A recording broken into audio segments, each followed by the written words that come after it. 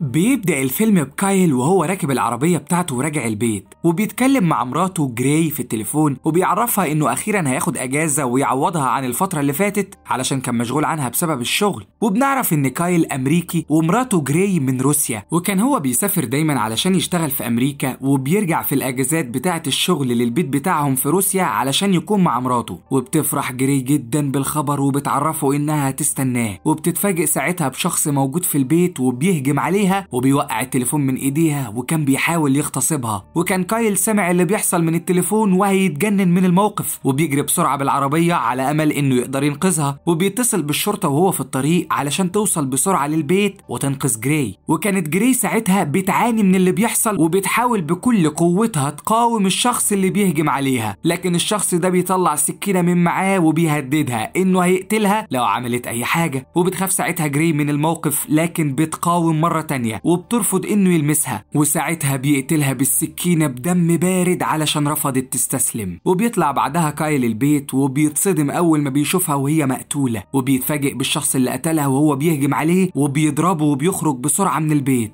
وبيجري وراه كايل وبيطلع معاه الأتوبيس وبتقوم معركة شرسة بينهم. ورغم إن المجرم كان معاه سكينة لكن كايل قدر يتغلب عليه ووقع السكينة من إيده وهجم عليه بسرعة ووقعوا الاتنين من الإزاز بتاع الأتوبيس. وبيجي موتوسيكل بعدها وبيخبط كايل وهو واقع على الأرض وبيتصاب في إيده. وساعتها بتيجي عربيات الشرطة وبتقبض على كايل وهو منهار وبيصرخ بصوت عالي علشان يقول لهم إن مراته اتقتلت. وبنشوفهم بعدها في المحكمة وبيكون الشخص اللي قتل مراته فرحان من حكم المحكمة. وبيسأل كايل المحامي بتاعه عن اللي بيحصل. وعرفه المحامي إن الشخص ده عيلته معاهم فلوس كتير وقدروا يشتروا القاضي وعلشان كده اتحكم عليه بالبراءة. واتصدم كايل ساعتها من الخبر وسرق مسدس من شرطي كان موجود وراح للشخص اللي قتل مراته وضربه أكتر من رصاصة وقتله في ساعتها وبيقف بعدها قدام القاضي مرة تانية وبيتحكم عليه بالسجن 25 سنة في أخطر سجون العالم مع أشد المجرمين في البلد.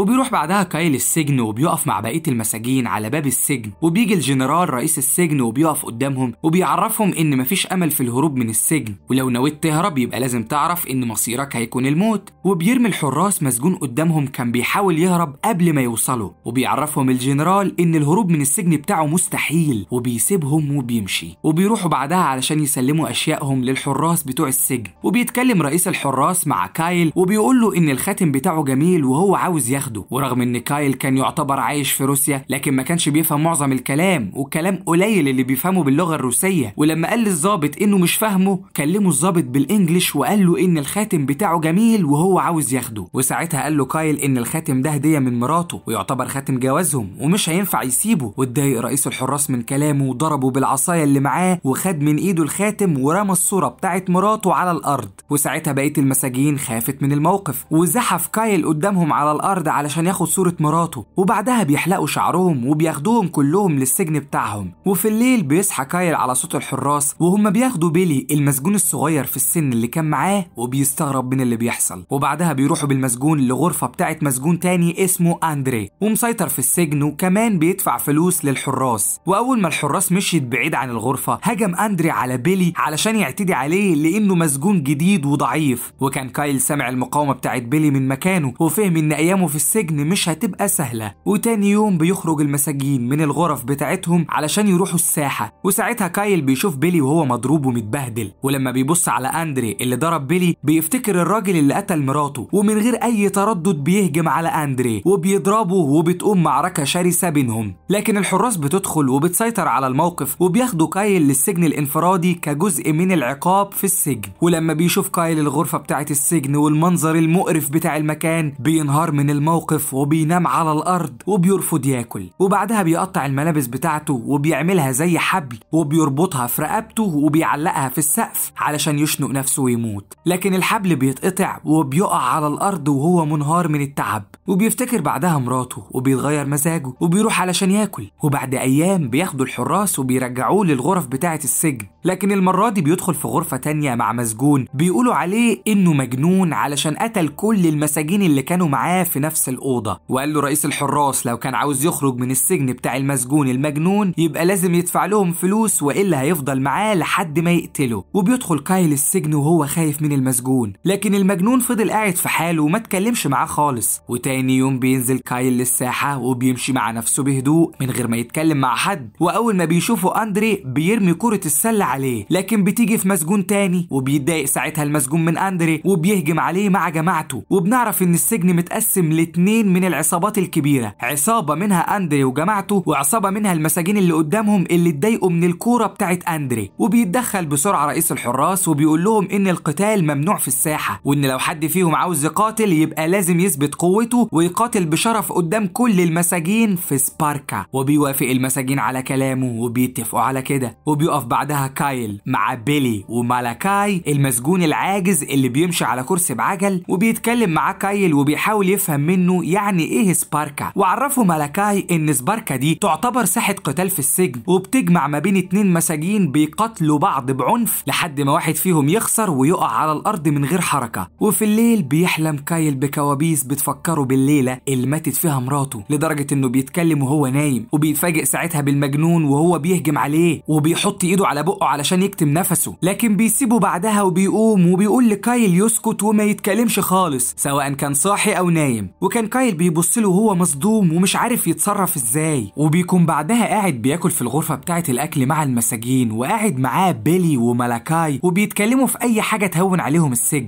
لكن بيتفاجئوا بأندري وهو جاي عليهم مع بقية جماعته وبيحاول يستفز كايل لكن كايل مش بيتكلم معاه وكأنه مش موجود. وبعدها بيدخلوا كلهم للساحة بتاعة سباركا في السجن علشان هيبدأوا المنافسة. وبيتكلم ساعتها مالاكاي مع كايل وبيعرفوا إن القتالات دي أساسها الرهانات اللي بيتراهن عليها الحراس بتوع السجن مع بعض. والجنرال رئيس السجن مع زمايله اللي مسؤولين عن سجون تانية. والموضوع كله بيبقى بالنسبة لهم مجرد تسلية والكل بيبقى فرحان. لكن الشخص الوحيد اللي بيعاني هو الشخص اللي بيخسر في القتال. وبيقف أندري قدام المقاتل بتاع العصابة التانية وبيهجموا الاتنين على بعض بعنف وبتقوم معركة شرسة بينهم. ورغم إن المسجون التاني كان قوي جدا لكن أندري قدر يتغلب عليه وفضل يضربه بعنف لحد ما وقع على الأرض وهو بيعاني من التعب. وبيروح بعدها كايل لطريق الجبل وبيشتغل مع بقية المساجين في طريق السكة الحديد اللي بيصنعوه. لكن بيهجم عليه مسجون تاني وبيضربه وبيوقعه على الأرض. وبيتدخل ساعتها الحراس وبيتكلم واحد منهم مع المسجون وبيسأله إيه اللي بيحصل؟ وساعتها المسجون قال له إن كايل أمريكي وبيستهزأ بيهم علشان هم من روسيا ولأن كايل كان يعتبر غريب في بلاد غريبة. فوافق الحارس إن المساجين تضربوه علشان يعرفوه إن اللعب مع الروس مش هيبقى سهل. وبيهجم المساجين على كايل وبيفضلوا يضربوه بعنف واحد ورا التاني. وبعدها بيتكلم معاه الحارس وبيفهمه إنه مش في أمريكا. وعلشان كده ما ينفعش يعمل فيها بطل قدام بقية المساجين. وبيطلب من الحراس يدخلوه السجن الانفرادي مرة تانية. وأول ما بيدخل كايل بيسمع صوت حد بيصرخ بصوت عالي. ومن الواضح إنه بيتألم. لكن بسبب صوت المزعج بيضرب كايل على الحيطة علشان الشخص ده يوقف صراخ.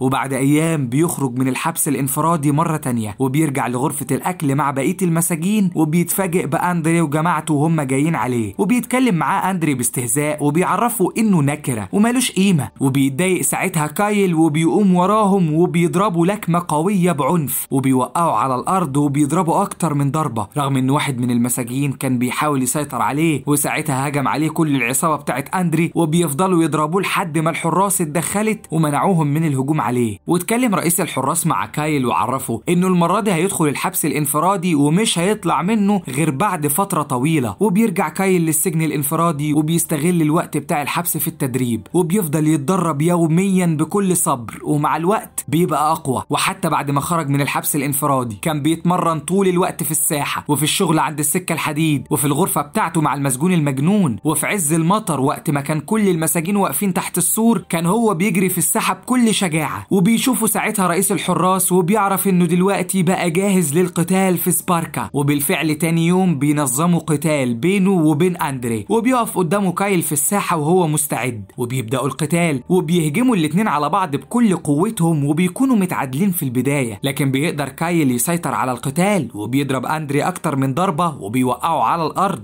وبيفرح ساعتها بيلي وزمايل كايل وبتفرح العصابة التانية هي كمان. لكن بيقدر أندري إنه يسيطر على القتال. القتال من تاني. علشان رغم إن كايل جسمه بقى قوي جدا لكن أندري عنده مهارات قتالية عالية وليه خبرة في القتال بعكس كايل اللي طول عمره شخص مسالم وبعيد عن المشاكل. لكن بيقاوم وبيضرب أندري برجله وبيهجم عليه بكل شراسة وبيعضه من رقبته وبيقدر إنه يقطع شرايين رقبته وبينام جنب أندري وهو بيتصرف تصرفات مجنونة وبيصرخ قدامهم بصوت عالي. وبيكون ساعتها أندري بينزف من رقبته لحد ما بيموت. وبيستمر الموضوع على كده يوم بعد يوم وكل مرة كايل هو اللي يكون في الساحة مع أي حد من المساجين وبيفضل يضربه بعنف لحد ما يقضي عليه وتاني يوم بيتكرر الموضوع مع مسجون تاني. وبيفضل كايل هو اللي يكسب كل قتال واسمه بيتعرف في السجن كله بالمقاتل الحديدي. وبيكونوا بعدها عاملين حفلة في السجن وبيكون كايل قاعد جنب المسجون المجنون وبيشاهد الفقرة بتاعة الحفلة. وبيجي ساعتها مسجون ضخم علشان يسلم عليه وبيعرفه إن اسمه فاليا وإنه سمع عنه كتير. وأول ما كايل سلم عليه ضغط المسجون الضخم على إيده علشان يختبر قوة كايل واتضايق كايل من طريقته وضغط على إيده هو كمان لكن بيوقفهم واحد من العصابة وبيعرفهم إن القتال بيكون في سباركا مش في الحفلة. وبيتكلم المجنون مع كايل وبيعرفه إنه هو ده المسجون الجديد اللي بعتوه من سجن تاني علشان يقاتل قدامك في سباركا. وساعتها فهم كايل إن لسه في حاجات صعبة مستنياه رغم كل اللي وصل له في السجن. وبيمشي بعدها مع بقية المساجين علشان يرجعوا للغرف بتاعتهم وبيشوف ساعتها بيلي وهو واقع على الأرض ومضروب ومتصاب وحالته صعبة. وبيخرج ساعتها فاليا من الغرفة هو كمان. وبيعرف كايل إنه هو اللي اعتدى عليه. وبيدخل ساعتها كايل الأوضة وبيتكلم معاه بيلي وهو بيحتضر. وبيعرفه إنهم حاولوا يكسروه ويذلوه. لكن هو قاوم في كل مرة علشان ما يسمحش لحد يكسره. ونصح كايل ما يسمح لهمش يغيروه ويحولوه لشخص تاني غير الشخص الطيب اللي هو يعرفه. ومات قدام كايل في ساعتها. وبيفكر كايل بعدها في كلامه وبينزل تاني يوم للساحة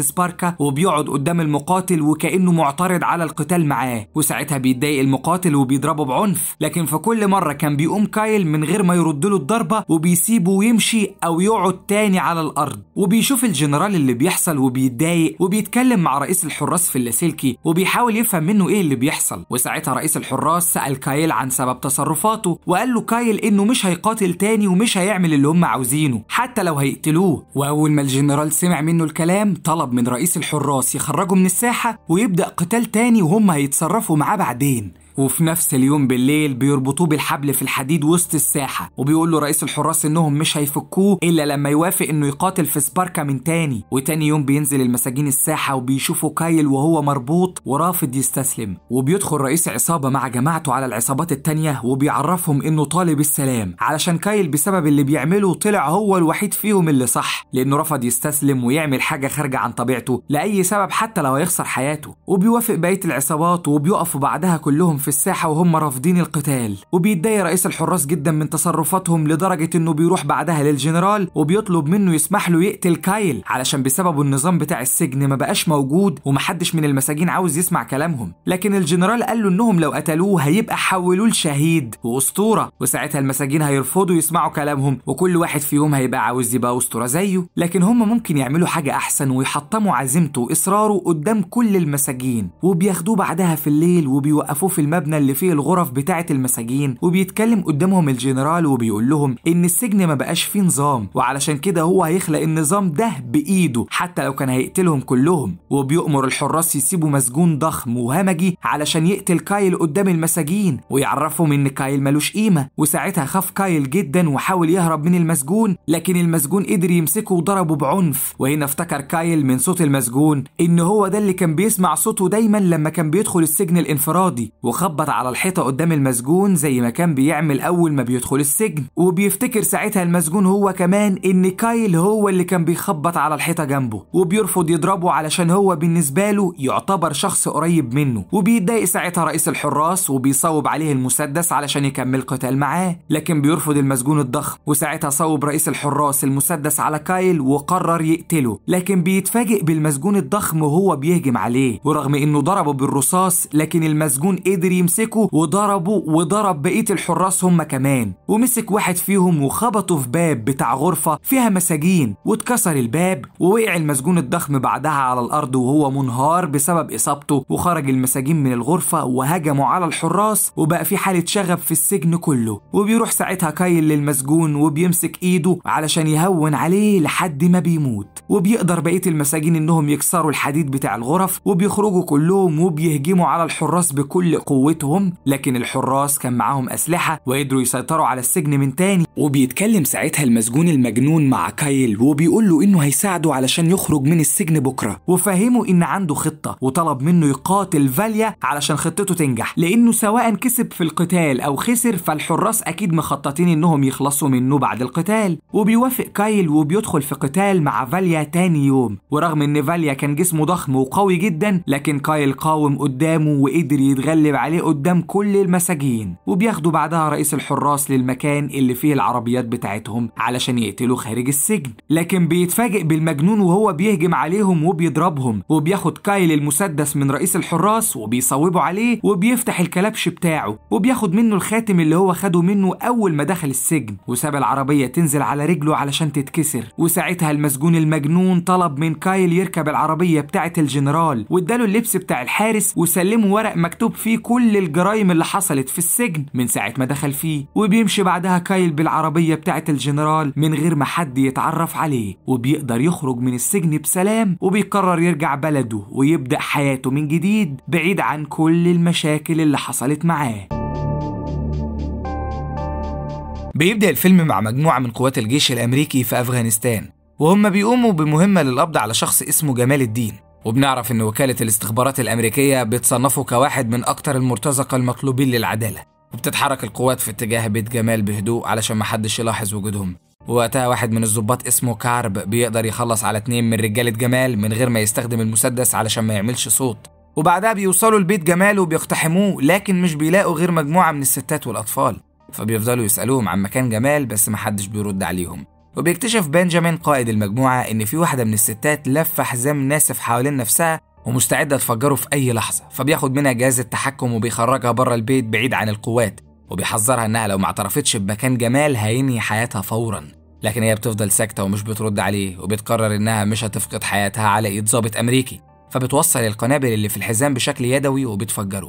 وبعد سنتين بنشوف شخص اسمه جاك وهو في طريقه مع الأرنب بتاعه لمدينة كولومبوس على الحدود المكسيكية. وبنعرف إنه رايح ينضم لشرطة المدينة وإنه كان ضابط في قسم الجرايم في ولاية نيو أورلينز. وبيوصل جاك لمركز الشرطة وبيقابل كابتن ريمونا مأمورة المركز. وبتبدأ ريمونا تعرفه على زمايله بس هما بيفضلوا يضحكوا عليه بسبب الأرنب اللي معاه ومش بيهتم جاك بكلامهم وبيقعد في مكانه. وبتشرح ريمونا المهمة الجديدة للظباط وبتعرفهم إن المباحث الفيدرالية بعتت لهم ملفات تخص تجار ممنوعات ومهربين ظهروا على حدود المدينة في الفترة الأخيرة. وإن المعلومات اللي عندهم بتقول إن المهربين دول كانوا ظباط سابقين في الجيش وبعد ما أنهوا خدمتهم اتجهوا لتهريب الممنوعات وبيتفهموا منهم مدربين على أعلى مستوى وإن أي غلطة في التعامل معاهم هتقوم حرب شرسة وخسائرها هتبقى كتير وبتجتمع ريمونا مع جاك على انفراد وبيتعرفوا على قواعد المدينة وبتفهموا إنها ضمته لدورية حراسة الحدود وإنه قدامه حاجة من الاتنين يا إما يحافظ على النظام وينفذ القانون أو يبقى فاسد ويساعد تجار الممنوعات مقابل الرشاوي. وفي الحالة دي هيواجه صعوبات كتير وهيتعاقب بالسجن. وفي نهاية الكلام بتحذره إنه ما يورطش نفسه في أي مشاكل مع السكان وإنه لازم يتصرف بحكمة في أي موقف. ولما الاجتماع بيخلص بيروح جاك للمطعم علشان يتغدى. وهناك بيستهزأ بيه واحد اسمه جيد وبيسخر من الأرنب بتاعه. وساعتها جاك بيتعصب جدا وبيوجه له ضربات قوية. وفجأة بيهجم عليه مجموعة من أصحاب جيد علشان يضربوه وبيقدر جاك إنه يخلص عليهم واحد ورا التاني بكل سهولة. وبياخد الأرنب بتاعه وبيخرج من المطعم وبيروح على الفندق اللي هيقعد فيه. وتاني يوم بيروح جاك على مركز الشرطة. ووقتها ريمونا بتبقى متعصبة منه جدا بسبب اللي عمله في المطعم خصوصا إنها حذرته من التعامل بتهور مع السكان وبتتكلم معاه وبتعرفه إن الموضوع ده لو اتكرر مرة تانية هترجعه لشرطة نيو أورليانز. فبيعتذر لها جاك وبيوعدها إنه هيتجنب المشاكل بعد كده. وبتعرفه ريمونا على زميله باونيل وبتطلب منهم إنهم يتعاونوا مع بعض ويطبقوا القانون من غير مشاكل. وبيخرجوا هما الاتنين علشان يبدأوا شغلهم وبيحاول باونيل إنه يتكلم مع جاك علشان يتعرف عليه. لكن جاك بيفضل ساكت ومش بيرد على أسئلته لحد ما بيسأله باونيل عن سبب تربيته للأرنب. فبيعرفه جاك إن الأرانب ما بتعملش صوت وعلشان كده هو بيربيه. وفي نهاية اليوم جاك بيوصل باونل لبيته وبيرجع للفندق والصبح جاك بيروح شغله وبيبلغه باونل إن في تبادل إطلاق نار بين الشرطة وبين مرتزقة على الحدود. وبيعرفوا إنهم طالبين دعم. فبيتحركوا فورا لمكان الاشتباك وبيكتشف جاك إن المرتزقة بيحاولوا يعدوا الحدود لكن هو بيقرر ياخد باونل ويروحوا لمكان تاني من خط الحدود. فبيستغرب باونل وبيسأل جاك عن السبب فبيفهمه جاك إن المرتزقة اللي بيضربوا نار كانوا بيحاولوا يشتتوا الشرطة عن حاجة تانية أكبر. وفعلا لما بيوصلوا بيشوفوا مجموعة كبيرة من المرتزقة بيهربوا ممنوعات في المكان اللي راحوه وبيقدر باونل إنه يقبض على واحد منهم وبيقبض جاك على واحد تاني. لكن لما بيفتشوا بيتفاجئ إن في حزام ناسف ملفوف حواليه فبيطلب خبير متفجرات وبيوصل الخبير. ولما بيحاول يفكها بيكتشف إنها معمولة بدقة عالية جدا لدرجة إنه بيفشل وبتنفجر القنبلة في المجرم وبيتصاب الخبير. وفي نفس الوقت بنشوف المهربين وهم بيراقبوا الوضع من بعيد وهنا بنكتشف إن هم نفسهم الظباط بنجامين وكارب وباقي المجموعة بتاعتهم. وبعدها بيروح بنجامين لقصر ماركوس زعيم العصابة اللي شغالين لحسابه وبيعرفوا إنه رتب له ميعاد مع بينيتو زعيم المافيا المنافس ليه بعد ما بينيتو بنفسه طلب إنه يقابله. وفعلا بيتحركوا بالعربيات لحد ما بيوصلوا للمكان المحدد. وهناك بينيتو بيتكلم مع ماركوس وبيفهمه إنهم بقالهم فترة طويلة في حروب مع بعض وإن عدد الرجالة اللي فقدوهم كبير جدا. وده السبب اللي خلاه يطلب مقابلته وبيعرض عليه بينيتو إنهم يقسموا الحدود بينهم بالنص علشان الخلافات اللي بينهم تنتهي ويفتحوا صفحة جديدة. فبيوافق ماركوس على عرضه. لكن فجأة رجالة ماركوس بيغدروا ببينيتو ورجالته وبيطلقوا غاز سام في المكان اللي هم فيه وبيلبسوا أقنعة أكسجين علشان ما يتأثروش بالغاز. وبعد لحظات بيخلصوا على بينيتو ورجالته وساعتها بنجامين بيغدر بماركوس وبيخلع القناع من على وشه علشان يتخلص منه. وفي نفس الوقت ده كارب كان بيهاجم باقي رجالة بنيتو عند العربيات وبيقدر إنه يخلص عليهم كلهم. وبكده بنجامين وعصابته بقى هم المسيطرين على تجارة الممنوعات بعد ما تخلصوا من ماركوس وبنيتو وفي مركز الشرطة بيجي عميل من المباحث الفيدرالية علشان يشرح للظباط طريقة تجار الممنوعات في التهريب وبيفهمهم إن حدود المدينة دي تحديدا بيعدي من خلالها حوالي 50 ألف مهاجر غير شرعي كل سنة وإن تجار الممنوعات لو استغلوا 10% بس منهم هتحصل كارثة وده لأن المهاجر الواحد بيشيل معاه كيلو من الممنوعات لكن المشكلة الأكبر هي إن العصابات بتلف حوالين المهاجرين حزام ناسف وده معناه إن المهمة هتبقى صعبة جدا. لأنهم مجبرين يراقبوا كل شخص بيعبر الحدود ويفتشوه. وبيأكد عليهم إن فرقة تفكيك القنابل لازم تكون جاهزة طول الوقت. وبيكمل العميل الفيدرالي كلامه وبيعرفهم إنهم بعد ما كشفوا على الحزام اللي فيه القنابل اكتشفوا إنه مستحيل يتفجر إلا باستخدام جهاز تحكم. وبيطلب منهم إنهم ياخدوا حذرهم. وبتتكلم رمونة مع الفريق وبتفهمهم إن المعلومات اللي عندهم بتقول إن قائد المهربين هو ضابط سابق اسمه بنجامين. وإن مكتوب في التقرير بتاعه إن حياته انتهت أثناء خدمته في أفغانستان. لكن الشرطة لاحظت ظهوره مع واحد من تجار الممنوعات اسمه الشيخ همام ومن وقتها وهو اتحول من ضابط لتاجر ممنوعات. وساعتها باونل بيتكلم وبيسألهم لو كانت الحكومة هتدعمهم بقوات من الجيش أو معدات حديثة ولا لأ. فبيرد عليه العميل الفيدرالي وبيعرفه إن الدولة في الوقت الحالي مشغولة بالانتخابات وإنهم مضطرين يواجهوا تجار الممنوعات والمهربين لوحدهم ومن غير أي دعم. وبعد الاجتماع باونل بيتكلم مع جاك وفي نفس اللحظة بيهجم مجرم على واحد من الضباط وبياخد منه المسدس بتاعه وبيوجهه لراس باونل فبيهجم جاك عليه بسرعة وبينقذ باونل في الوقت المناسب. وفي الطريق باونل بيشكر جاك لأنه أنقذ حياته. وأثناء كلامهم جاك بيشوف اتنين مجرمين بيحاولوا يسرقوا شخص في الشارع فبينزل من العربية وبيطاردهم. وفعلا بيقدر يقبض على واحد منهم بس التاني بيهرب منه. وقتها المجرم اللي مسكه بيعرض عليه رشوة علشان يسيبه. وبيرفض جاك وبيحط الكلبشات في ايده. وفي اللحظة دي بيرجع المجرم اللي هرب وبيحاول ينهي حياة جاك لكن جاك في ردة فعل سريعة بيصوب المسدس ناحيته وبيخلص عليه. وفجأة المجرم التاني بيطلع السلاح بتاعه علشان يتخلص من جاك وساعتها جاك بينهي حياته هو كمان. وبعد شوية بتوصل ريمونا وهي متضايقة من تصرف جاك وبتتكلم معاه وبتفهمه إن سكان المدينة كلهم ما يكملوش ألف فرد وإن أي شخص منهم حياته بتنتهي بيسبب مشكلة كبيرة. وفي الوقت ده بيوصل عمدة المدينة وبيهني جاك على التصرف البطولي اللي عمله وبيدعوه لحفلة إعادة الانتخاب بتاعته في مركز المدينة. وده لأنه شايف إنه ممكن يستفيد من ضابط قوي زي جاك علشان يحسس سكان المدينة بالأمان وينتخبوه تاني. وفي نفس اليوم بنجامين بيتكلم مع كارب وبيسأله عن الضابط اللي خلص على اتنين من رجالتهم وبيعرفه كارب إنه ضابط جديد اسمه جاك لسه منضم لشرطة المدينة. فبيطلب منه بنجامين إنه يرشيه زي باقي الضباط علشان يسهل تجارتهم لكن كارب بيعرفه إن فعلا رجالته عرضوا عليه رشوة بس هو رفضها. وفي المطعم بيروح جيد يعتذر لجاك على اللي حصل آخر مرة وبيقبل جاك اعتذاره. وبتعزمه ليكسا صاحبة المطعم على طلباته بسبب إنه تصدى للمجرمين في المدينة على عكس اللي بيحصل دايما من الشرطة. وفي نفس الوقت ده في المكسيك وتحديدا في المقر بتاع بنجامين. العصابة بتحضر شحنة ممنوعات كبيرة علشان يهربوها وبيتكلم كارب مع بنجامين وبيعرفوا إنه تم تجهيز شحنة الممنوعات بشكل احترافي. علشان كلاب الشرطة ما تقدرش توصل لها وإنها يتم تهريبها في عجل اتوبيس فبيسألوا بنجامين هم يتصرفوا إزاي لو الشرطة اشتبكت معاهم. وبيعرفه كارب إنه دعم الأتوبيس بدروع مضادة للرصاص ومستحيل أي رصاص يخترقها. فبيطمن بنجامين وبيسأله عن خطة التهريب وبيشرح له كارب إنهم هينقلوا مجموعة من رهبان الكنيسة في الأتوبيس وهيتخفوا وسطهم. وبعدها هيتجهوا للمعبر على الحدود على أساس إنهم في رحلة دينية لكنيسة لاس كروسيز اللي في مدينة كولومبوس وفعلا تاني يوم الصبح بيجهزوا الأتوبيس وبيتجهوا للمعبر. وهناك بيطلع ظابط علشان يتأكد من جواز السفر بتاع الركاب لكن بيلاحظ وشم على إيد واحد من العصابة فبيشك إنه مش راهب وبينزل يبلغ المسؤولين عن الأتوبيس. وساعتها كارب بيلاحظ وبيأمر رجالته إنهم يقفلوا الأتوبيس ويتحركوا بيه. وبتطلع العصابة الأسلحة اللي كانوا مخبينها وبيشتبكوا مع الشرطة. وبيقدروا إنهم يتخلصوا من مجموعة كبيرة منهم ويهربوا. ووقتها المركز بيبلغ جميع الوحدات علشان يحاصروا الطريق اللي العصابة هتمشي منه. وبيتحرك جاك وباونل على هناك ولما جاك بيشوف العصابة بيروح فوق الجسر وبيضرب عليهم نار وبينجح في إنه يسيب واحد منهم لكن العصابة بتكتشف إن الطريق مقفول فبيضطروا إنهم يلفوا ويرجعوا للمكسيك تاني. وبيتكلم باونل مع جاك وبيعرفه انهم مش هينفع يعدوا الحدود وإلا هيتعرضوا لمشكلة كبيرة لأن حكومتهم ملهاش سلطة هناك فبيصمم جاك إنه يروح ورا العصابة ويقبض عليها وفعلا بيعدي الحدود. وبيفضل يطارد الأتوبيس بتاع العصابة هو والشرطة المكسيكية لحد ما بيدخلوا السوق.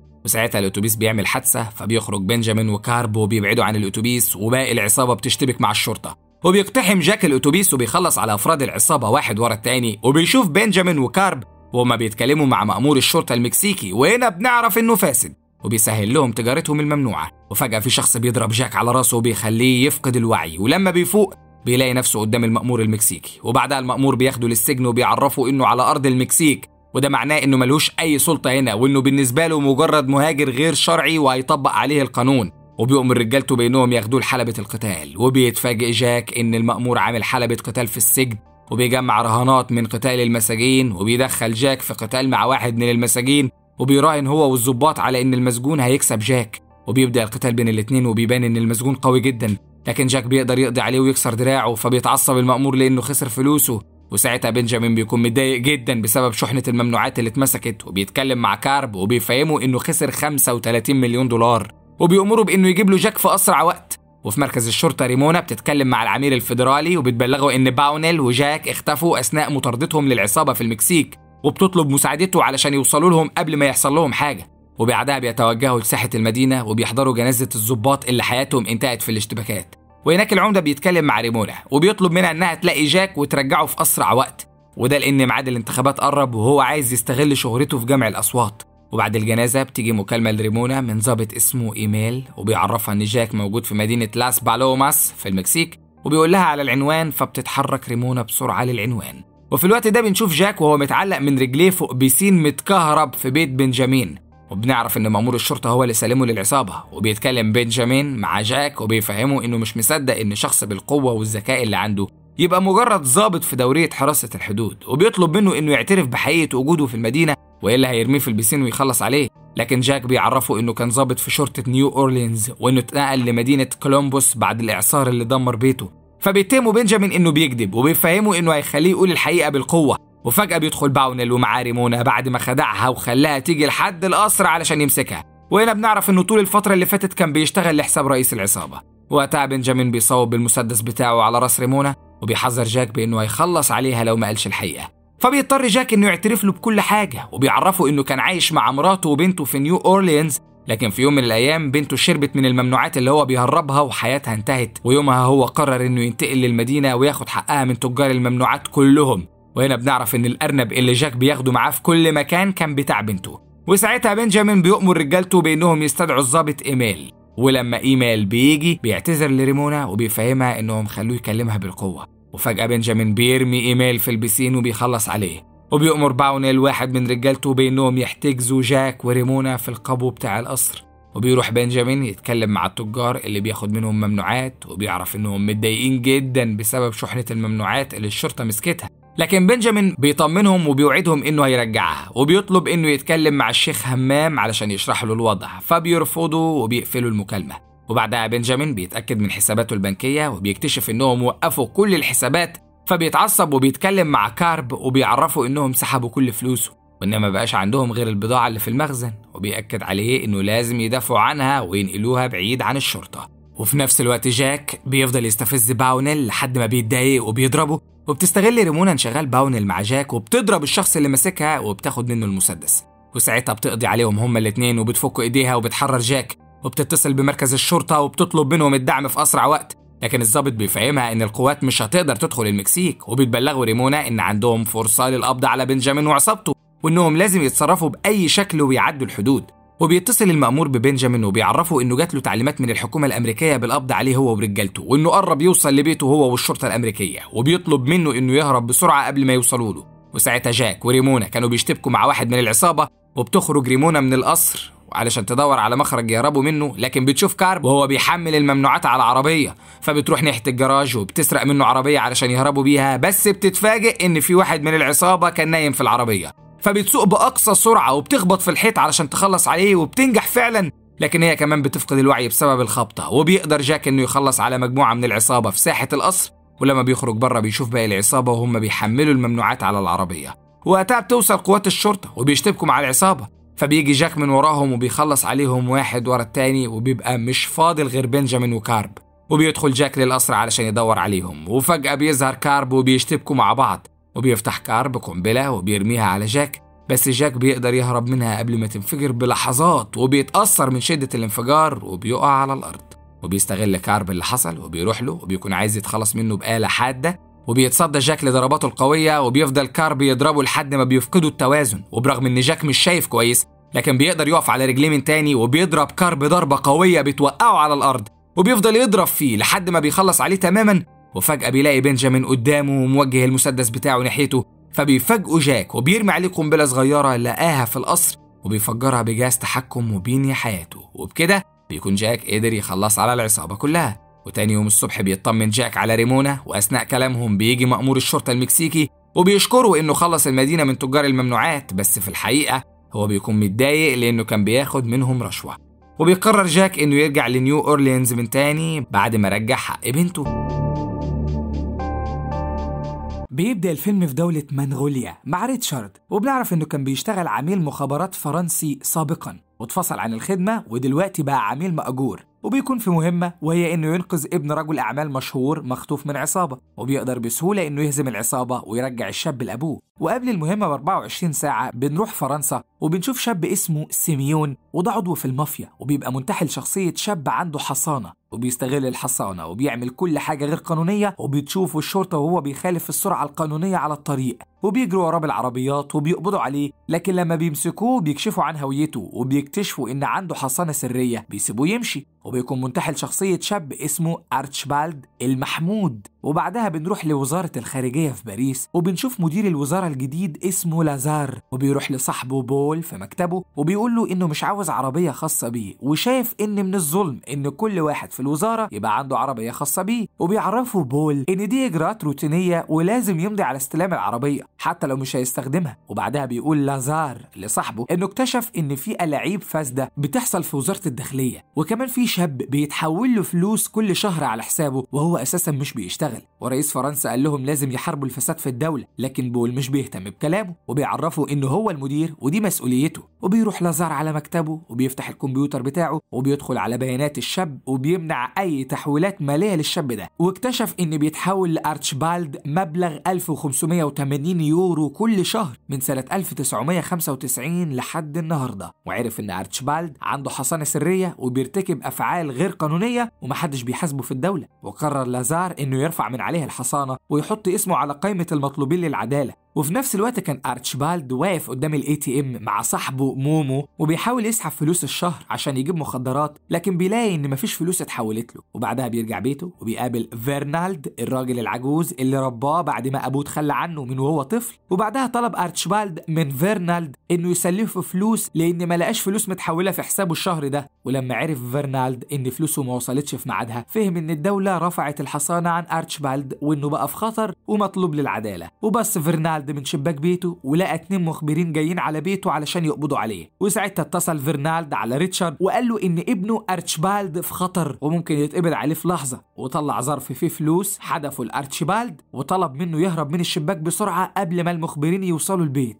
وكان فيرنالد عنده مشاكل في صمام القلب ومركب جهاز عشان ينظم ضربات قلبه. لكن بيحصل تشويش على كهربة البيت بتخلي جهاز القلب يقف وبيموت في ساعتها. وبيدخل المخبرين للبيت بيلاقوا فرنالد ميت على الأرض ومش بيلاقوا أرتشبالد. وفي الوقت ده بيهرب أرتشبالد وبيحاول إنه يتجنب الشرطة لكن بيلاقي عربيات الشرطة والدبابات محاصراه من كل مكان وبيقبضوا عليه. وبيعرف ريتشارد إن ابنه اترفع من عليه الحصانة وبيبعت إيميل لواحد اسمه جوار رئيس مكتب المخابرات السرية في فرنسا وكانوا متوترين من إيميل ريتشارد لأنه اتفصل عن شغله بسبب إنه يعرف معلومات سرية خطيرة عن المخابرات وكان بيهددهم بيها وطلبت وزيرة الداخلية إنهم يقبضوا على ريتشارد في أسرع وقت وبعتت للواء متقاعد عن الخدمة اسمه فيليب يساعدهم في القبض على ريتشارد لأنه عرف كل المعلومات عنه عشان كان قائد فرقة العمليات الخاصة. اللي ريتشارد كان عضو فيها. وحكى اللواء عن ريتشارد وقال لهم إنه كان أذكى واحد في الفريق وكانوا بيطلقوا عليه اسم الضباب. ولما اتفصل من خدمته بقى معروف إنه أخطر عميل مأجور في العالم ومفيش عملية بيفشل فيها لأنه ذكي جدا. وحكى لهم إن المخابرات الفرنسية بعتت ريتشارد سنة 1995 مهمه عسكرية في السودان بس الجيش السوداني عرف يقبض على ريتشارد. وده السبب إن المخابرات الفرنسية تخلت عنه عشان هو فشل في مهمته.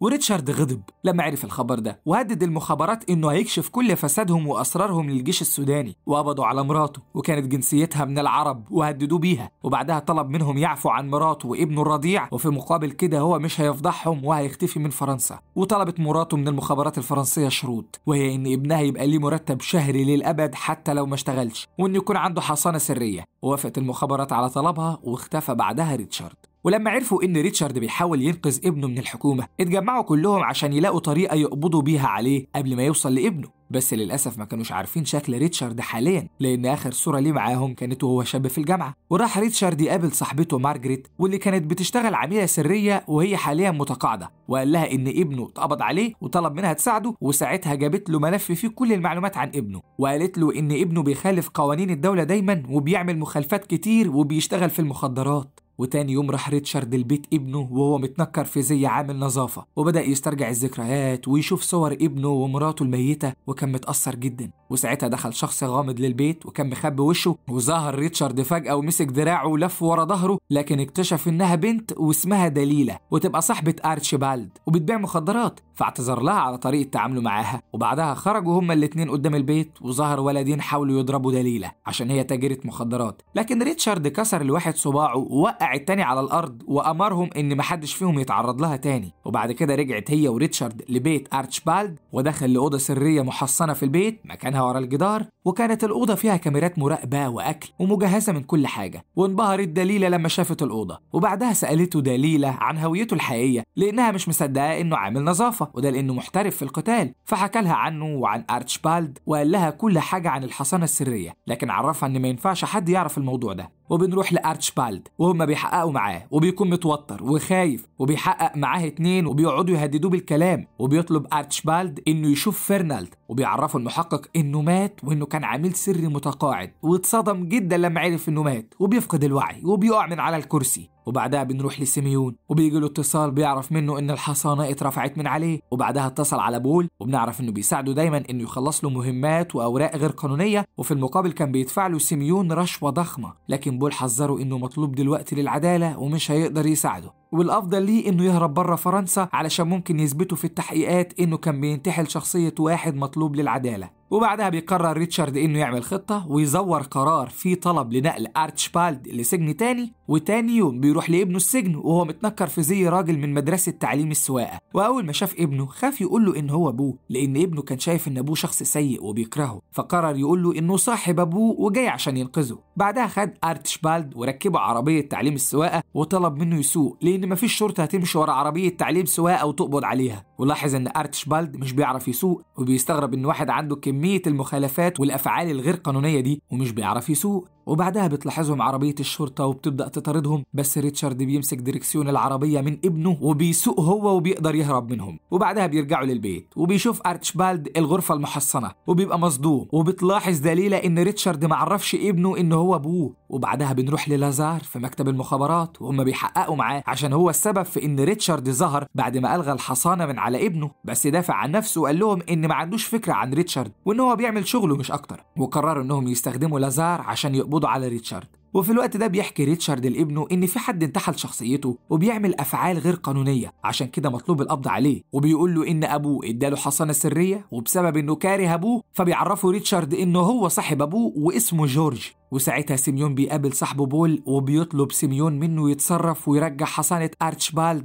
عشان يقدر يخلص صفقة الأسلحة لأن ميعادها قرب. وهدده إنه مش هيديه فلوس لو ما حلش الموضوع ده في أسرع وقت. وبنروح لمكتب المخابرات وبنشوف جوار وهو بيتكلم مع لازار وبيعرفوا إنهم هيفرجوا عنه بس بشرط إنه يتعاون معاهم عشان يقبضوا على ريتشارد. واداله جهاز تنصت علشان لو ريتشارد حاول يتواصل معاه يقدروا يتنصتوا عليه. وعرف ريتشارد إن لازار هو اللي رفع حصانة ابنه وقرر إنه يقابله ويفهم منه ليه عمل كده وتواصل بعدها مع لازار علشان يقابله في وسط باريس وبيكون في مخابرات في كل مكان حواليه متنكرين في شخصيات تانية. واتصل بيه ريتشارد وطلب من لازار إنه يقلع هدومه ويركب عجلة ويلبس خوذة على دماغه عشان يقدر يعرفه لما يوصل. وبدأ يحدد له المكان اللي المفروض هيمشي فيه. ولما بيوصل لازار بيلاقي ريتشارد لكن فجأة الشرطة بتظهر وبيحاولوا يضربوا ريتشارد. بس ريتشارد بيكون أذكى وأقوى منهم وبيقدر يهزمهم وبتدور بينهم معركة شرسة وبيسبب لهم كسور وبيفقدوا الوعي. وبعدها بياخد لازار في عربية آيس كريم وبيغمي عينه عشان ما يشوفش الطريق وبيوديه لحد بيت ابنه. وبعد ما وصلوا البيت قال ريتشارد للازار إن المخابرات عاوزة تخلص عليه لأنه عارف معلومات سرية عنهم. وطلب من لازار إنه يحكي له كل حاجة يعرفها لكن لازار قال له إنه مش هيقدر يقول أي أسرار عن المخابرات. وبعدها قلد ريتشارد نفس نبرة صوت لازار بالظبط. وهدده إنه لو ما قالوش على كل حاجة هيتصل بمكتب المخابرات ويقلد صوته ويورطه في كل القضايا اللي ابنه متهم فيها. وبعدها وافق لازار وفرجوا ريتشارد على الناس اللي قتلوا فرنالد في كاميرا المراقبة وقدر يعرف العربية بتاعتهم وإن دي العربية بتاعته. لكن هو ما استخدمهاش قبل كده والشخص الوحيد اللي استخدمها هو بول وهو المتسبب في قتل فرنالد. وبيشوف ريتشارد على حذاء ابنه قطعة لبانة وبيعرف إنه خرج من البيت مع إن أبوه محذره إنه ما يخرجش واتعصب عليه وبعدها خد ابنه ولازار وحاولوا يهربوا لكن فجأة اتنين من المخابرات بدأوا يضربوهم بالرشاشات من كل الاتجاهات ودخلوا بسرعة الأوضة المحصنة وقفلوا عليهم الباب وراقبوا المخبرين من كاميرات المراقبة وعرفوا إنهم بيعلقوا قنبلة بره المخبأ السري هتنفجر بعد ثواني وساعتها شاف أرتشبالد باب سري للهروب وهربوا منه هم الثلاثة بسرعة وفي اللحظة دي القنبلة انفجرت وكان بول بيتابع مع رجالته وعرف إنهم فجروا البيت وريتشارد وابنه ماتوا وبيوصل المخابرات إن ريتشارد مات. وبيحس جوار بالسعادة لأنه بيكره ريتشارد بسبب خيانته مع مراته. وساعتها بيكون ريتشارد متفق مع دليلة إنها تحضر عربية أخوها مومو عشان يهربوا فيها وبالفعل ركبوا العربية هم الأربعة. وكان مومو بيسوق بيهم. واتفق ريتشارد مع لازار إنه هيسمح له يرجع شغله في وزارة الداخلية لكن بشرط إن ريتشارد يضربه في وشه عشان يبين لهم إن هو قاعد يعذبه عشان يعترف بأي معلومات لكنه فشل. وبعدها ريتشارد أطلق سراحه واداله ميكروفون عشان يحطه في مكتب بول. ولما دخل لازار الوزارة. كان وشه مصاب والناس خايفة من شكله. ودخل على مكتب بول عشان يحط الميكروفون لكن اتوتر لما سمع صوت بول داخل ووقع الميكروفون على الأرض وعمل نفسه نايم من التعب. ولما دخل بول لقاه مصاب وشه ونايم. وقرب منه بول وحاول يخنقه وهو نايم لكن قبل ما يعمل حاجة بيدخل عملاء من المخابرات وبياخدوا معاهم لازار عشان يوصف لهم شكل ريتشارد. لكن لازار وصف لهم شكل مختلف تماما عن ريتشارد. وبعدها شاف جوار شكل الوصف بتاع ريتشارد وقال إن ريتشارد عمل كده عشان يخفي شكله الحقيقي ومحدش يقدر يوصل له ويقتله وبعدها بيمشي لازار وراح قابل ريتشارد وحكى له على كل حاجة وبيتفقوا إنهم لازم يستخبوا في مكان سري. فبيقترح عليهم لازار إنهم يروحوا يستخبوا في الكازينو بتاعه لأن محدش يعرفه غيره. ولما بيوصلوا الكازينو بيقول لازار بالغلط قدام أرتشبالد إن ريتشارد هو أبوه الحقيقي وبيتصدم أرتشبالد وبيروح يقعد في أوضة لوحده وهو بيعيط وبتقول دليله لأبوه يروح يتكلم معاه ويصالحه لأنها درس علم نفس والشخص الوحيد اللي هيقدر يصالحه هو ريتشارد. وراح أبوه وفهمه إنه كان لازم يهرب عشان يعيش هو وأمه من غير مشاكل. لكن أرتشبالد بيقول له هو غضبان إنه عمره ما كان موجود في حياته وساب أمه يوم الجنازة وما سألش عليها لما توفت بمرض السرطان وبيقرر ريتشارد إنه يروح للشخص اللي منتحل شخصية ابنه لكن مش بيوافق إن ابنه يروح معاهم وبيربط إيده في عمود في الكازينو عشان ما يهربش. وبيروحوا كلهم وبيروح للمكان بتاع سيميون وبيسمعوا وهو بيكلم بول عن صفقة الأسلحة وبيعرف معلومات خطيرة. وبيروح سيميون عشان يغير هدومه وساعتها بيتفاجئ ريتشارد إن ابنه قدر يهرب من الكازينو ووصل للمكان. وكمان بيشوفه وهو داخل أوضة سيميون. ولما دخل أرتشبالد ورا سيميون حاول يسرق تليفونه وجوازات السفر بس بيظهر بنتين بيضربوا أرتشبالد وبيوقعوه على الأرض. وبعدها بيدخل أبوه ويضرب البنتين وبيخليهم يفقدوا الوعي. وبنعرف إن الشرطة مراقبة المكان. وبيظهر اتنين من المخابرات مسلحين وبيدخلوا على ريتشارد وابنه وبتحصل بينهم معركة عنيفة وبتسمع دليلة صوت الضرب فبتدخل تساعدهم وبتكهرب المخبرين وبتخليهم يفقدوا وعيهم. وبعدها بيهربوا بسرعة ومعاهم موبايل سيميون وبيرجعوا على الكازينو. وبيقول لهم ريتشارد إنه عرف كل حاجة عن الصفقة وإن سيميون عرف ينتحل شخصية أرتشبالد عن طريق بول عشان هو اللي اداله أوراق وهوية أرتشبالد بحيث يقدر يستخدمها. والمفروض إنهم يعملوا خطة ويقبضوا على سيميون وبول أثناء عملية تهريب الأسلحة. وبيتصل ريتشارد ببول من موبايل سيميون وبيقلد صوته بالظبط وبيتفق معاه على ميعاد صفقة السلاح. وبيعرفوا بول إنه لازم يجهز 30 مليون دولار عشان يتمموا الصفقة. وبعدها اتصل ريتشارد براجل الأعمال اللي أنقذ ابنه المخطوف في منغوليا وطلب منه 30 مليون دولار. وقال له هيرجعهم له بعد 24 ساعة. وافق رجل الأعمال وقال له إن الفلوس هتوصل له في خلال ساعة. وبعد ما الفلوس وصلت راحوا على المكان اللي هتتم فيه الصفقة. وكان المكان فيه حفلة ضخمة حاضرها ناس مهمين في فرنسا. وتنكر ريتشارد وباقي الفريق كأنهم بيشتغلوا في المكان. ودخلوا غرفة سيميون وغيروا هدومهم عشان يستعدوا للصفقة. وبعدها اتصل ريتشارد بجوار وقال له يجي في مكان تسليم الصفقة عشان المجرم موجود حاليا. وبعدها بيتنكر أرتشبالد في شكل سيميون وبيتنكر ريتشارد في شكل حبيبة سيميون. ولما وصل بول كان أرتشبالد وريتشارد مديينه ظهرهم وكان ريتشارد بيتكلم مع بول بنبرة صوت سيميون. وكانت الصفقة بتتم عن طريق دليلة المتنكرة في شكل فتاة ليل. وفجأة بيكتشف بول إن اللي قاعدين هم ريتشارد وابنه. وبعدها بيقول ريتشارد لدليلة إنها تستعد للخطة البديلة. وفجأة الكهرباء بتفصل وبيختفي ريتشارد والفريق بتاعه وبيطلع بول يجري وراهم هو ورجالته وبيقابل ريتشارد عملاء مخابرات وبيضربهم بطريقة عنيفة وبيقعوا على الأرض فاقدين الوعي. وبعدها بيظهر بول وبيحاول يهرب بشنطة الفلوس لكن ريتشارد بيحدف عليه كورة بولينج وبيوقعه على الأرض. وبيشوف ريتشارد صديقته مارجريت وبيطلب منها تاخد ابنه ودليلة وتحميهم وتاخد بول وتسلمه للشرطة. وبعدها خدتهم وخرجت من الأوضة وبيتفاجئوا إن بول يطلع ابن مارجريت وفجأة مارجريت بتضرب دليلة في راسها وبتوقعها على الأرض وبتدي شنطة الفلوس لابنها وبتمسك سكينة تحطها على رقبة أرتشبالد. وفي الوقت ده بيعرف ريتشارد من لازار إن بول يبقى ابن مارجريت وإن ابنه حاليا في خطر. وبتحاول مارجريت تهرب بشنطة الفلوس بس بتلاقي ريتشارد قدامها. فقالت له إنها خبت عن الناس إن عندها ابن عشان تقدر تنضم للمخابرات. واستغلت حصانة ابنه في بيع السلاح لأنها محتاجة فلوس هي وابنها. وفجأة بيظهر جوار وبيضرب ريتشارد لكمات في وشه وبيحاول يخنقه. واستغلت مارجريت الفرصة وطلعت مسدسها وقتلت جوار. وطلبت من بول إنه يبلغ عن ريتشارد إنه قتل جوار وحاولت إنها تهرب مع ابنها بس بتقابل مومو وبيحاول يشتت انتباههم بس بتضربه بشنطة الفلوس في وشه وبتوقعه على الأرض. وبيظهر ريتشارد مع ابنه ولازار وبيوقفوها وفي نفس اللحظة انتشرت القوات الخاصة في المكان كله وحاصروا ريتشارد وابنه. وبتحس مارجريت إنها انتصرت وفجأة بيظهر جوار وبيطلع لسه عايش لأنه كان لابس بدلة ضد الرصاص. وبيطلب من القوات المسلحة إنها تقبض على مارجريت وابنها وبيقول لها ان ما كانش متوقع إنها تخذله بعد السنين دي وجوار بيشكر ارتشبالد وابنه وبيطلب من لازار يرجع معاه للوزارة عشان يقفل القضية وساعتها الكهرباء بتفصل وبيهرب ريتشارد.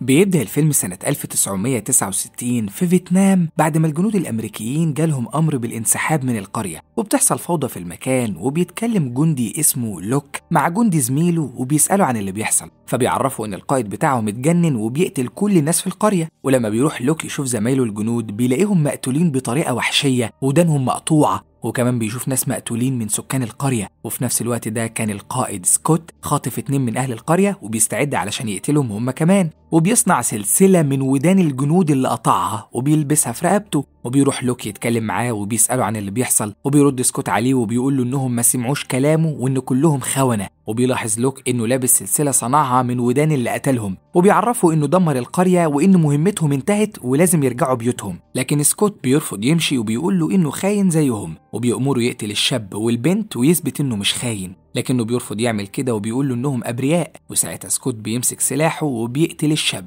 وبيضربوا لوك وبياخد البنت وبيهربوا منه. وبيروح وراهم وبيضرب نار على لوك وبيتصاب في رجليه وبيقع على الأرض وبيقول للبنت تهرب. وبيحدف سكوت عليها قنبلة وبتنفجر فيها وبتموت. وبيقوم لوك وبيطعنه بالسلاح في بطنه وبيضرب سكوت عليه نار والاتنين بيضربوا نار على بعض وبيموتوا هما الاتنين. وتاني يوم بيوصل فريق الدعم للقرية وكانوا مش عارفين إزاي هيشرحوا اللي حصل للسلطات وعلشان كده بيقرروا إنهم مش هيقولوا اللي حصل وهيقولوا إنهم ما لقوش حد وإن الجنود كانوا بينفذوا مهمتهم وهم دلوقتي مفقودين. وبيجمعوا جثث الجنود وبيحطوها في التلاجة. وبعد 25 سنة بنشوف قوات الجيش وصلوا لصحراء نيفادا بقيادة العقيد بيري وبيكون معاهم عربية كبيرة وبينزل منها عدد من الجنود الخاصة لابسين أجهزة صوت وكاميرات وبيفحصهم الدكتور والمساعد بتاعه وبيتأكدوا إن كل حاجة سليمة وجاهزة وبيكون لوك وسكوت موجودين ضمن الجنود وبيستعدوا علشان ينفذوا المهمة وفي نفس الوقت ده كان في عصابة خاطفين 30 شخص وحابسينهم في محطة توليد الكهرباء وكانوا من وقت للتاني بيقتلوا رهينة من الرهاين علشان يجبروا السلطات إنهم ينفذوا طلبهم وكانوا عاوزينهم يفرجوا عن عدد من المجرمين ويخرجوهم من السجون وبتوصل قوات الجيش للمكان علشان ينفذوا مهمتهم وينقذوا الرهاين. وبينط الجنود من الطيارة وبينزلوا في البحر. وبتكون الصحفية روني في طريقها للمكان علشان تذيع الخبر. وكانت متأخرة على ميعادها والمدير والمصور كانوا مستنيينها. وبتوصل روني ليهم وبيكون المدير متضايق بسبب إنها اتأخرت. وبيبدأوا تصوير وبينقلوا الحدث للناس. وبيكون الرهاين قاعدين في المبنى في حالة رعب وخايفين من العصابة. وبيتواصل زعيم العصابة مع باقي رجالته عن طريق أجهزة اللاسلكي علشان يتأكدوا إن مفيش حد اقتحم المكان. وبيطلع الجنود من المية وبيتسلقوا الحيطة علشان يوصلوا للمبنى. وبيتكلم المدير مع روني وبيتخانق معاها لأنها مش بتلتزم بالقواعد. وبترد روني عليه وبتقول له إنها دايما بتجيب له القصص المهمة. وبيسألها المدير لو كانت فاكرة إنهم ما يقدروش يستغنوا عنها لأنها جابت ليهم قصص مهمة. وبيعرفها إنه اتكلم مع المسؤول عن المحطة وهي دلوقتي مطرودة. وبيوصل الجنود للمبنى وبينتشروا في المكان وكل جندي بيقف في مكانه وبيكونوا مستنين الأوامر. وبتيجي أوامر للوك وسكوت إنهم يقتلوا أول اتنين من الحراس وبيحطوا جنبهم أجهزة الرد الآلي علشان زعيم العصابة ما يعرفش إنهم اتقتلوا. وبعدها بينزلوا من على الحيطة وبيهجموا على اتنين حراس وبيقتلوهم. وبيوصل واحد من الجنود لمكان الرهاين وبيقدر يحدد أفراد العصابة من خلال الكاميرا اللي موجودة معاه في الشنطة. وبتضرب العصابة عليه نار وبيقتلوه وبيكونوا فاكرينه مات لكن بيقوم وبيطلع مسدس وبيقتل زعيم العصابة. وبيوصل لوك وسكوت وبيقتلوا باقي الحراس وبيقدروا ينقذوا الرهاين وبيشوف لوك شاب وبنت وبيفتكر الشاب والبنت اللي سكوت كان عايز يقتلهم وقت الحرب وبيرجع له جزء من الذاكرة. ولما الدكتور بيتكلم معاه وبيطلب منه تقرير عن الوضع مش بيرد عليهم. وبيتكلم الصحفيين مع العقيد وبيسألوه عن الجنود الخارقين وعن مشروع الجندي العالمي. وبيرد عليهم وبيعرفهم إن دي المهمة التالتة ليهم وقدروا ينجحوا فيها من غير أي إصابات. وبيقول لهم إنه ما ينفعش يعلن عن الجنود لأن عندهم عائلات وما ينفعش يعرض حياتهم للخطر. وفي الوقت ده بتتكلم روني مع المصور وبتقول له إن جالها فكرة وبيروحوا هما الاتنين عند المكان اللي فيه الجنود. وفي نفس الوقت ده بيكون الجنود في غرفة تبريد في درجة حرارة 60 تحت الصفر. وبيوصل العقيد علشان يشوف حالة الجنود وبيعرف من الدكتور إن لوك اتجمد في نهاية المهمة وما كانش بيستجيب للأوامر. وبيتكلم العقيد مع لوك وبيسأله عن اللي حصل وبيرد لوك وبيقول إن البنت بريئة والقائد دمر القرية. وبيقول الدكتور للعقيد إن دي ممكن تكون ذكرى قديمة عنده. وبيقترح إنهم يخرجوه من البرنامج لحد ما يعملوا ليه اختبارات ويعرفوا اللي بيحصل له. لكن العقيد بيرفض وبيأمره يديله دواء مسح الذاكرة. وبتبدأ عملية مسح الذاكرة للجنود. وبتراقب روني المكان هي والمصور وبتقوله إنها هتقرب أكتر. لكن المصور بيحذرها إن دي عملية عسكرية سرية وما ينفعش يقربوا من المكان. وبتقرب روني من الشاحنة وساعتها بتشوف جندي ميت في صندوق وبتقرب منه وبتفتحه وبتصور الجندي علشان تنشر الخبر لكن بتترعب لما بتلاقيه فتح عينيه وبتهرب بسرعة وبيعرفوا إن في حد دخل المكان من كاميرات المراقبة وبيطاردوا روني والمصور والعربية بتتقلب بيهم وبيروح الجنود يقبضوا عليهم وبيدي العقيد أوامر للجنود إنهم ياخدوا منهم الكاميرا وبيسأل سكوت روني عليها ولما مش بترد بيصوب المسدس ناحيتها وبيدافع المصور عنها وساعتها سكوت بيقتله. وبيفتكر لوك لما سكوت قتل الشاب وبيضربه وبياخد روني وبيركبوا العربية علشان يهرب بيها وبيدي العقيد أوامر لواحد من الجنود إنه يقبض عليهم ويضرب نار على العربية. وبيأمر العقيد لوك إنه يوقف العربية وساعتها لوك بيقف وبتقول له روني يتحرك بسرعة قبل ما يقتلوهم لكن العقيد بيقول له ما يسمعش كلامها وبتشيل روني الأجهزة اللي لابسها وبترميها وبتقول له يتحرك لكن لوك بيقول لها إنه لازم يتبع الأوامر وبتحرك روني العربية وبيهربوا من المكان وبيقول سكوت على لوك إنه خاين. وبيتكلم الدكتور مع العقيد وبيقول له إنهم لازم يخرجوا سكوت من البرنامج لأنه قتل شخص لكن العقيد بيعرفه إنه محتاج كل جندي علشان يطاردوا روني ولوك ويقبضوا عليهم. وبيقول له الدكتور إنهم قتلوا شخص بريء لكن العقيد بيفهمه إن البرنامج كله في خطر لأنه لو اكتشف إنهم أعادوا إحياء جنود ميتين ساعتها كلهم هيروحوا السجن. وبتتكلم روني مع لوك وبتسأله هو ليه ساعدها؟ وبيرد عليها وبيقول إن مهمته انتهت وعايز يرجع للبيت. ومش بتفهم روني حاجة من كلامه وبتكتشف إنه اتصاب برصاصة وبينزف. وبياخد لوك جهاز وبيحطه على مكان الإصابة وبيقف النزيف. وفي نفس الوقت ده بيستعد العقيد وباقي الفريق علشان يطاردوهم وبيقدروا يحددوا مكانهم من خلال جهاز تتبع مزروع في جسم لوك.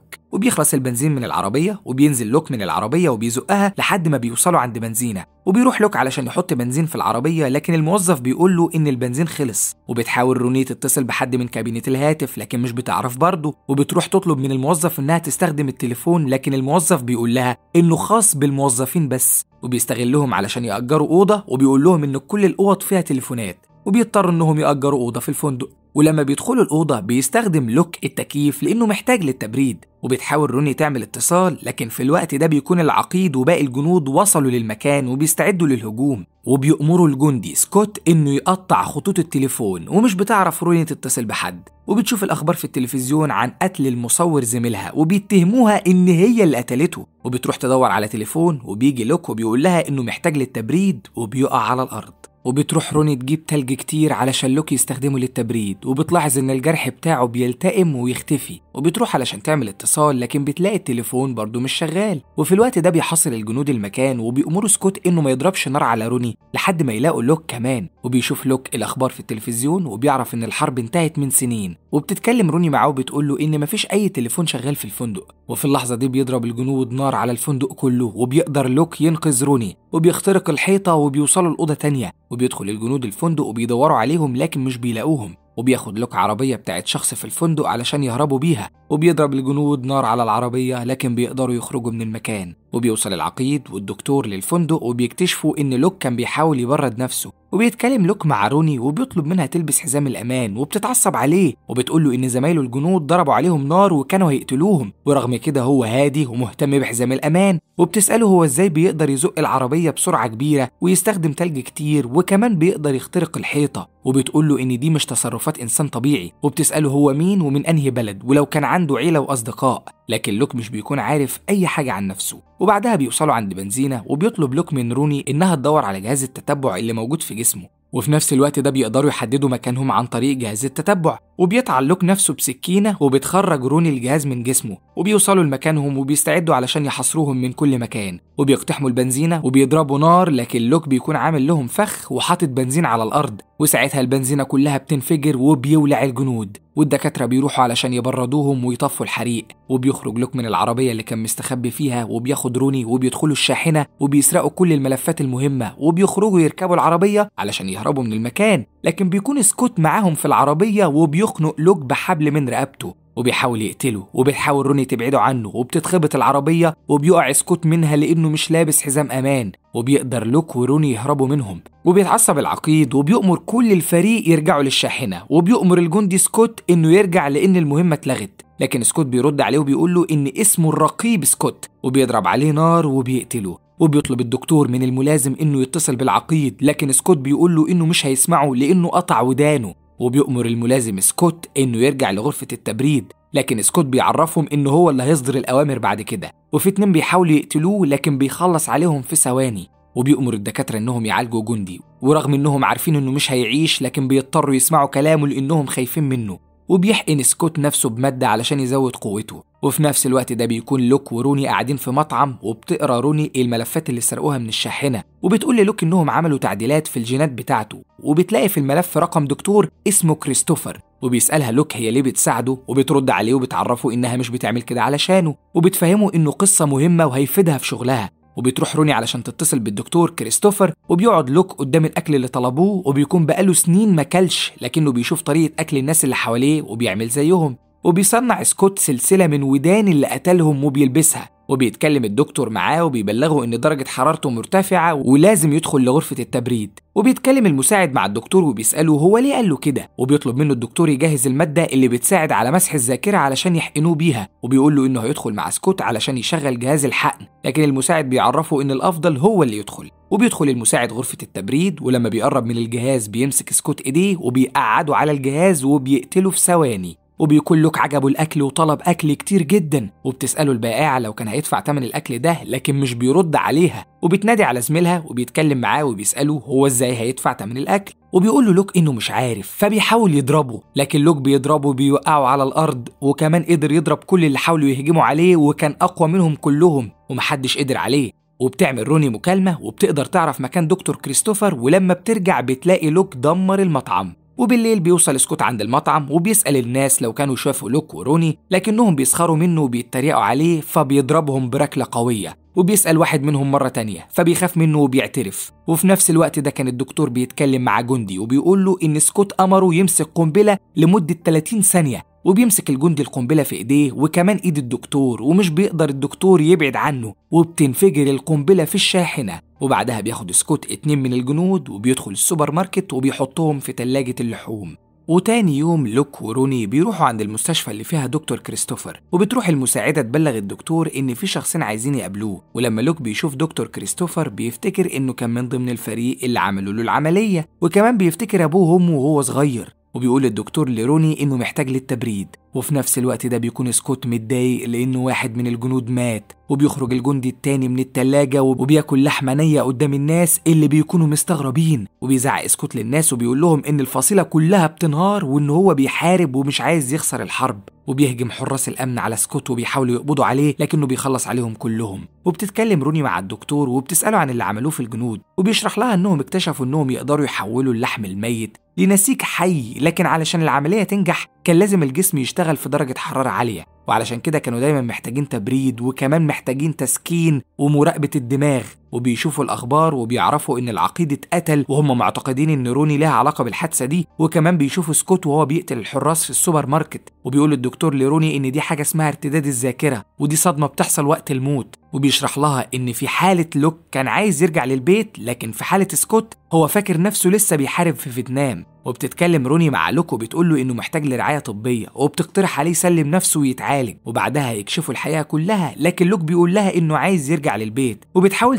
تفهمه إنه ممكن ما يقدرش ينجو لكنه بيعرفها إنه أصلا ميت وبتقول له روني إنه مش ميت وإن عنده حياة مهمة وما ينفعش يتخلى عنها بسهولة وبيديها لوك تذكرة علشان تسافر لمدينة لوس أنجلوس وتبقى في أمان وبيقول لها إنها لقت القصة اللي عايزاها وبتروح روني تركب الأتوبيس لكن بترجع في كلامها وبتقرر تفضل معاه وساعتها بتحاصرهم الشرطة وبيقبضوا عليهم وفي الطريق بيطاردهم سكوت والجندي اللي معاه وبيخبطوا عربية الشرطة وبعدها بيخبطوا الأتوبيس اللي هم فيه وبيضرب سكوت عليهم نار وبيقتل السواق. وبيحاول لوك إنه يوقف الأتوبيس وبيرمي سكوت عليهم قنابل لكن روني بتاخدها وبترميها خارج الأتوبيس. وبيوصل لوك لمكان القيادة وبيتحكم في الأتوبيس وبيقول لروني تنط من الأتوبيس وبيفتح الباب وبيحدفها وبيحدف سكوت قنبلة على الأتوبيس وبيتقلب وبعدها بيخبطوه بالشاحنة. لكن لوك بيقدر يخرج منه وبيضرب نار على الجندي وبيقتله وبيقع الأتوبيس والشاحنة من فوق الجبل وبينفجروا لكن لوك بيكون قدر ينقذ نفسه وبيروح لروني وبيجي الشرطي علشان يقبض عليهم لكن روني بتقدر تضربه وبياخدوا منه المفتاح وبيركبوا العربية علشان يروحوا لبيت لوك.